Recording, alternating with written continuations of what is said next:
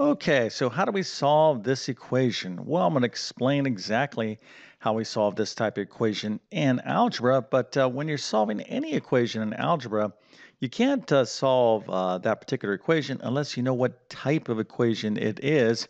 So the first thing you want to do is to see if you can identify what type of equation this is. And let me go ahead and give you a clue has to do with these little things right here.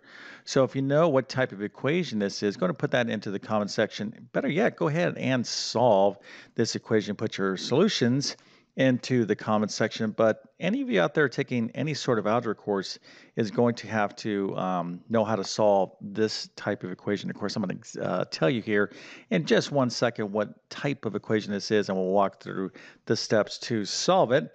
But uh, first, let me quickly introduce myself. My name is John. I'm the founder of TC Math Academy.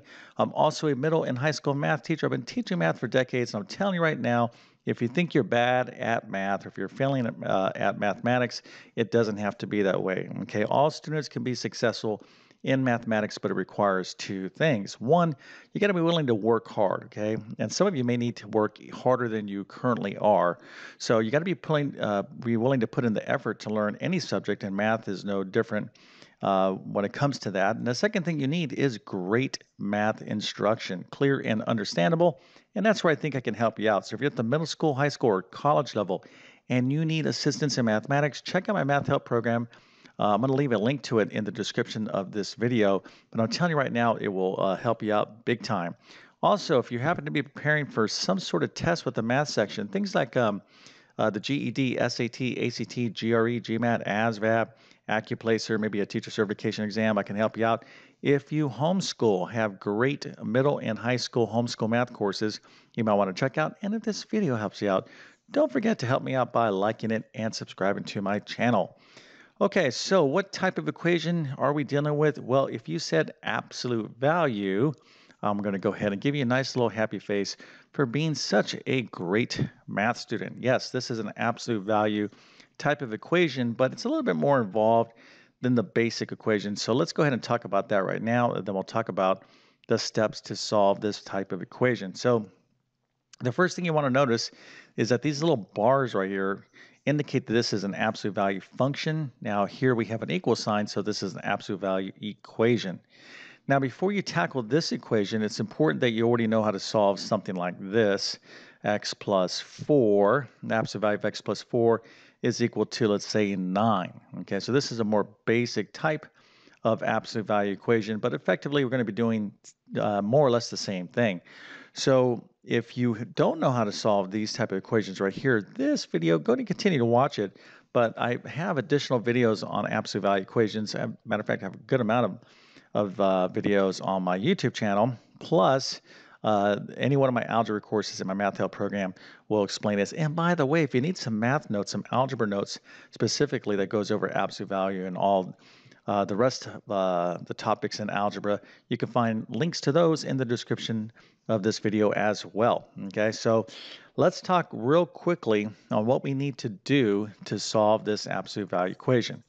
So the first thing is this. The way this absolute value equation is written, we can't really do anything with it right now. What you need to do is isolate this absolute value and get one number to this right hand side. So in other words, we want to get this down to something like this, 3x minus 7. Absolute value 3x minus 7 equals, oh, I don't know, let's say 12. Okay, so we're going to have to take some steps to clean this up to rewrite it this way.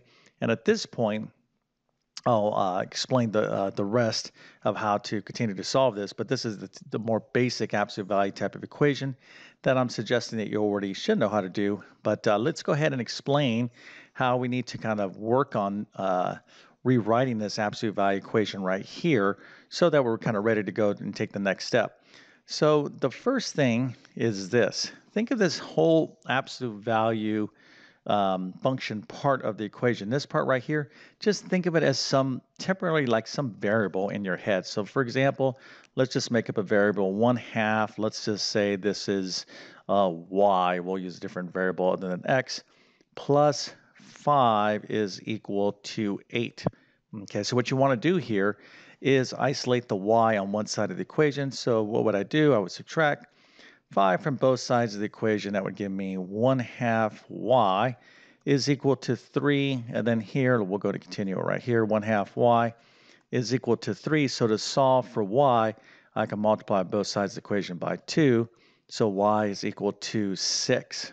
Okay, so effectively you want to be taking the same steps, but you don't want to be messing with this absolute value um, function part of the equation. Think of it just as one variable. Now here is another thing that students do that is a very common mistake sometimes they'll confuse absolute value bars or this function here uh, with parentheses. In other words, they'll think, okay, maybe I can do this 1 half times 3x minus 7. And here you can take the uh, and uh, this 1 half and distribute it to the things in, uh, inside of these parentheses. Now, in algebra, you can definitely do this because these are parentheses. This is the distributive property. So I would have 3 halves x minus 7 halves. So this is correct. However, parentheses, okay, and absolute value functions are entirely different things.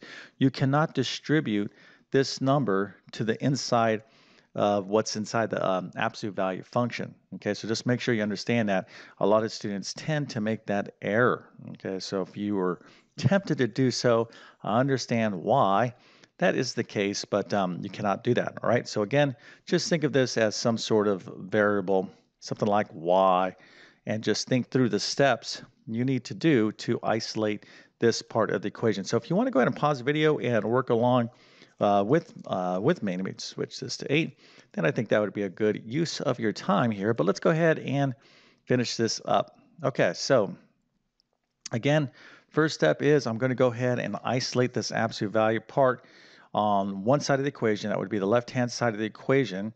So the first thing I'm going to do is I'm going to go ahead and subtract 5 from both sides of the equation.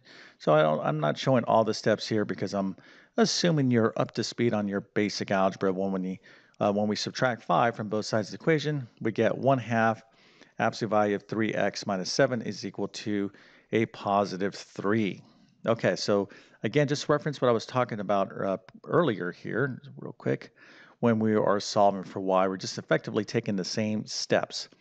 Okay, so now to get this absolute value part all by itself, I got 1 half times this, this uh, absolute value function equal to 3. So I can go ahead and multiply both sides of the equation by 2. And one way you can write that is just putting brackets around the entire thing. So this is going to be 2. Now why 2? Well, 2 is the LCD. Uh, so when I multiply this 2 times this, I'm going to get uh, 2 times 1 half is 1. Okay, so 1 times the absolute value of 3x minus 7, well, you don't really write that 1. It's just simply going to be 3 absolute value of 3x minus 7 when I'm done. So 2 times 1 half is 1. I don't need to write the 1. It's just implied that it's there. So now I have my absolute value um, all by itself on the left-hand side, but I also have to multiply this 2 by the right-hand side. So 2 times 3 is 6. Okay, so this is the stage where now this is a more basic absolute value equation. Okay, now if you don't know what absolute value is or have a basic understanding of it, then again, you want to review some more um, basic uh, videos that I've made. But let's just talk about this real quick. If I said uh, the absolute value of some number is a positive 6, okay, what is that number? Okay, if I take the absolute value of what number uh, what would that, and my answer is six, what number did I plug in to this absolute value function? Okay, so hopefully some of you said, well, you could uh, take six and plug it in there because the absolute value of six is positive six, but you can also plug in a negative six because absolute value of negative six is also a positive six. So when it comes to absolute value equations, you're always going to have two answers. So 3x minus 7 must either be 6 or negative 6. And so we're going to set up two equations. 3x minus 7 is equal to a positive 6, or 3x minus 7 is equal to a negative 6. And then we're going to go ahead and solve these respective equations. So here, I'm going to go ahead and add 7 to both sides of the equation. I get 3x is equal to 13. And I'm going to go ahead and divide both sides of the equation by 3. So I get x is equal to 13 over 3. That's one solution. And here, when I add 7 to both sides, I'm going to get 3x is equal to 1. And then I'm going to divide both sides of the equation by 3. So x is equal to 1 third. Now, if you're having any difficulty understanding those basic um, equation solving steps, then again, you know, review what you need to review. Okay. It's it's perfectly okay to be like, boy, I don't think I know this so well. The main thing in learning is to first identify what you know and don't know. Okay. You should always mentally be like, okay, I know this, but I don't really know this. So when you know something, you can get confidence in this. If you don't know something, the worst thing you can do is be like, hmm, I hope I don't see that again, because you definitely will see this again. Make this a little list of things that you don't really know. Go back and review and strengthen that. And then these things will move over to your know list. Okay, that's how you uh, improve in mathematics. I can just tell you right now if you don't take the effort to review the things you don't know or maybe you should have learned, then you're always going to continue to struggle. Okay, so uh, you know, again, uh, just because you don't understand something, that's actually a good thing if you can identify it and go back and review it.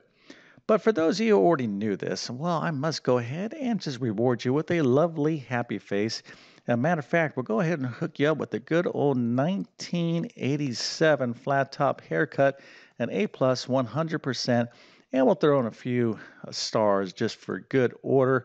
This was an impressive haircut back in the day, just like your ability to do absolute value equations. Okay, so again, um, this is something you're absolutely going to see if you're taking any sort of algebra course, whether that be Algebra 1, Algebra 2, College Algebra, it doesn't make a difference. Absolute value is a big deal.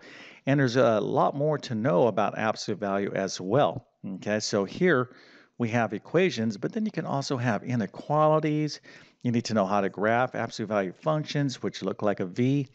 Um, there's a lot more you need to know about absolute value other than this. So if this is like, wow, that's a lot of material, well, you know, again, math is a lot of stuff. That's why you have to work hard on uh, learning it. But um, if you're taking good notes and just taking it one skill at a time, you will eventually get very good in mathematics. Okay, so with that being said, I definitely wish you all the best in your mathematics adventures. Thank you for your time and have a great day.